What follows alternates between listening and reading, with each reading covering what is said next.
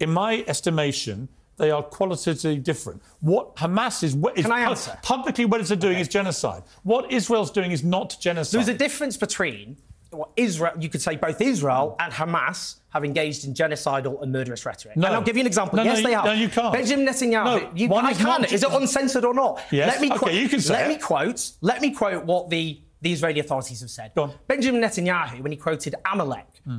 the scriptures, what does Amalek say? זכור את אשר עשה לך מה- עמלק, נצטווינו.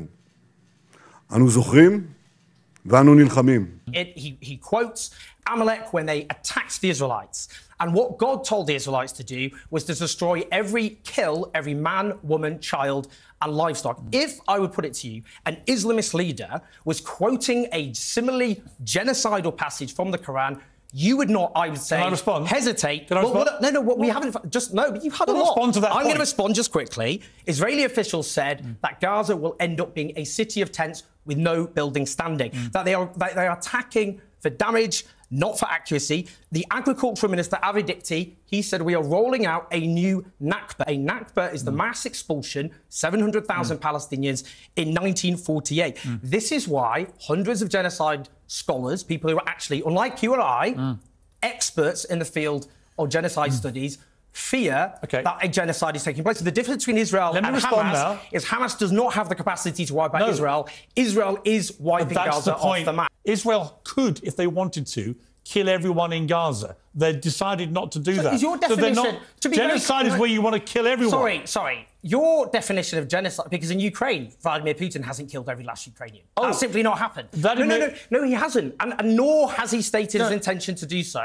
And nor, as brutal and barbaric. Actually, actually sorry, to be Vladimir cl- Putin, to be clear- absolutely, No, by illegally no. invading a sovereign country and and, and, no, no, no, indiscriminately bombing Yeah. anything in front of him. Indiscriminately bombing. Is ah, waging I'm a form of genocide. Wow. Indiscriminate bombing. Hmm. Gaza. More than two Hiroshima bombs worth have been dropped on East London in the space of five Hmm. Okay, weeks. let me ask you two No, no, no, no, no, no. No, No, you said Ukraine. No, I'm going to have to put this to you. Okay. 15,000 people have now been killed now by the Israelis, estimate, in Gaza. One in every 200 people in Gaza have now been killed.